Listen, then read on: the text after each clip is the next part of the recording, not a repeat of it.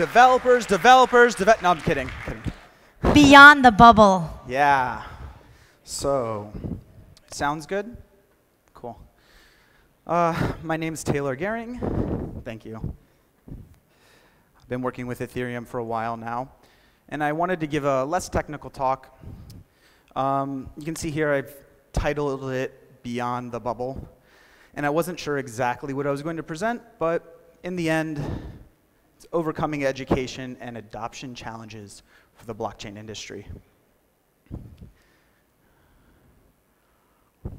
Sound? So I get asked a lot, what do I do at Ethereum, right? It's kind of like this. What would you say you do here? This is from the movie Office Space. Yeah, so what do I do at Ethereum? Uh, this is me in the very beginning at Miami when Vitalik announced the project. And since then, I've worked on a couple components uh, of the project. Uh, at first, I was working on the website. Then I helped on the Go Ethereum project, and then infrastructure. And now I'm doing less technical work. I'm doing kind of external relations. And what is that really? Well, it's really taking technical topics, breaking them down for the lay person, and explaining them in a very simple way. So this is kind of what I do. Ethereum blockchain platform. Come hear the gospel.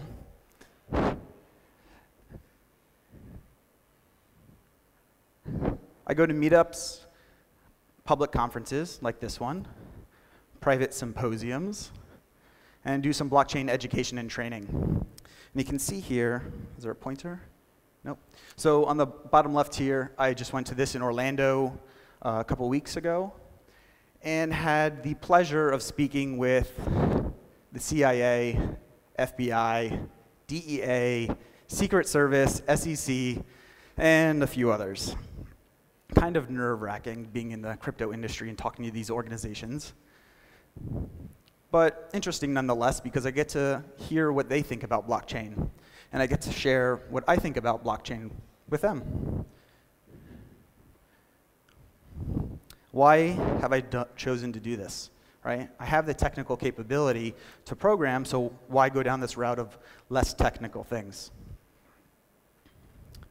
Well, I want to answer questions about growth beyond our very small industry. Very, very small. I'm trying to find the perfect elevator pitch and I'd like to help avoid the stagnation that plagued the Bitcoin meetup scene. After two or three years, I think the value transfer aspect has been discussed and the meetups kind of died down a little bit. So, I have good news. Well, we've already started really pushing beyond our small little industry. I think we all know that fintech is rapidly uh, developing blockchain solutions. And we have ongoing interests. I get calls from people, emails from people all the time, and they want help with various projects. And some of those projects are IoT, some of those projects are energy, medical related. Um, I think they're pretty much ready for adoption. FinTech has picked up the baton, if you will, and run with it. And I think these other uh, segments are about to grab the baton and continue the race. And soon, I really hope that uh, we'll have governments and nonprofits on board. There seems to be a lot of interest for voting applications and, and other things like that. It's hard to really say. Vitalik wrote a blog post about the long tail of blockchains, and we don't really know, but it's starting. So another aspect of this is mom and dad. How do you explain to mom and dad what are blockchains for? They're not corporate enterprises that are looking for efficiency gains. They're not fintech organizations look to transfer money faster. They don't really care that much about IoT and having a light bulb that talks to your refrigerator. So how can you get mom and dad on board with blockchain? Well, there's a big problem. Generally, people don't really care about technical innovation. You know, if you're not in the tech industry, Why would you care about blockchain? My mom's a nurse. She doesn't care about blockchain. But if it's something that immediately improves their lives or makes their lives worse, they're definitely going to pay attention to this. And what I've come up with in terms of talking to my mom and getting her to understand blockchain and why it's important to me and why I think I can make an impact on the world kind of really boils down to the slide up here. The internet still functions off 1970s technology. You send an email, it's in plain text. You access a web page, generally it's in plain text. And the result of this, actually, is that our data is leaked by companies all the time because our data is stored on their servers. Our identities are stolen by hackers. If you have shopped at Home Depot or Target or a variety of other organizations and you have a credit card stored online, there's a good chance that that credit card was leaked to hackers. And also, we have this problem of our behavior being monetized by advertisers which isn't a problem in and of itself, but if you're going to monetize my actions, maybe I'd like a cut of that too.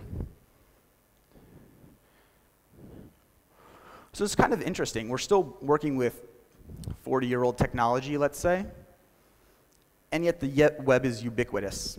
We all have smartphone supercomputers in our pocket that connect to a global information store, and it's everywhere.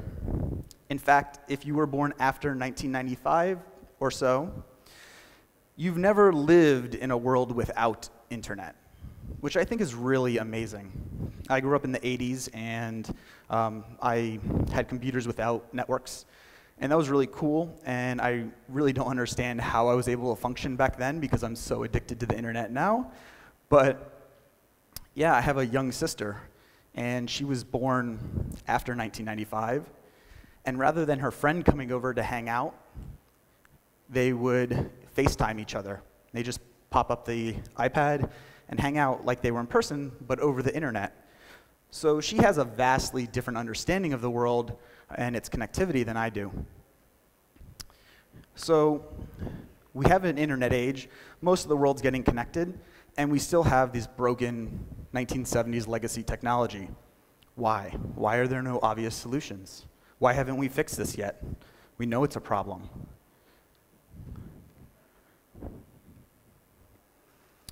The good news is people are beginning to understand the need to have the same privacy and security guarantees online as with offline. So one really good example of this is if you want to have a private conversation with your friend, doing it online is a little harder. You can't step into a room off the side close the door, and have a private discussion. And I think we should change that. As our lives become more and more connected, it's going to become more and more necessary to have these kinds of conversations. Not because you have anything to hide, but we need these digital versions of what we're used to in the physical world. And on top of that, with all the hacks and all the leaks even older generations are starting to see the need to have security and privacy by default. We want our emails and messages encrypted. We want our online transactions to be encrypted. Really, there's no reason that most of our activity shouldn't be encrypted by default. So let's start building these systems. And really, this is kind of where I boiled everything down. So I gave a talk last year at DevCon 1 in London, and it was entitled Ethereum in the Enterprise.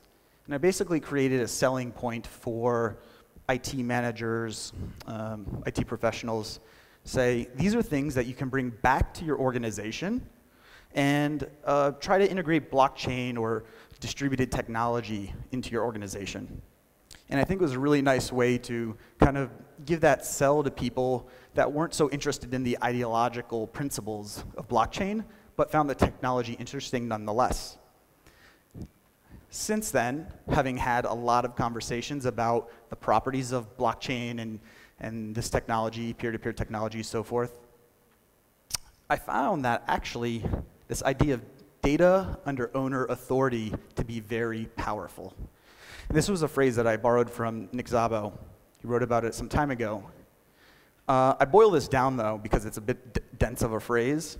And really, it boils down to own your own data, right? We all use Dropbox and services like store our files, but at the end of the day, we don't really own that data. We upload pictures to social media sites. We don't own that data. Shouldn't I own that data? It's my photo. So, far more than be your own bank, people are interested in own your own data. And even my mom understands this, which is a huge leap for her, I think. So, yeah, what can we do? What does this have to do with blockchain, right? We're at an Ethereum, DevCon, blockchain type conference. Well, part of what I'm trying to do is get outside this industry and move into other parts of the technology industry and explain to them how blockchain can be used.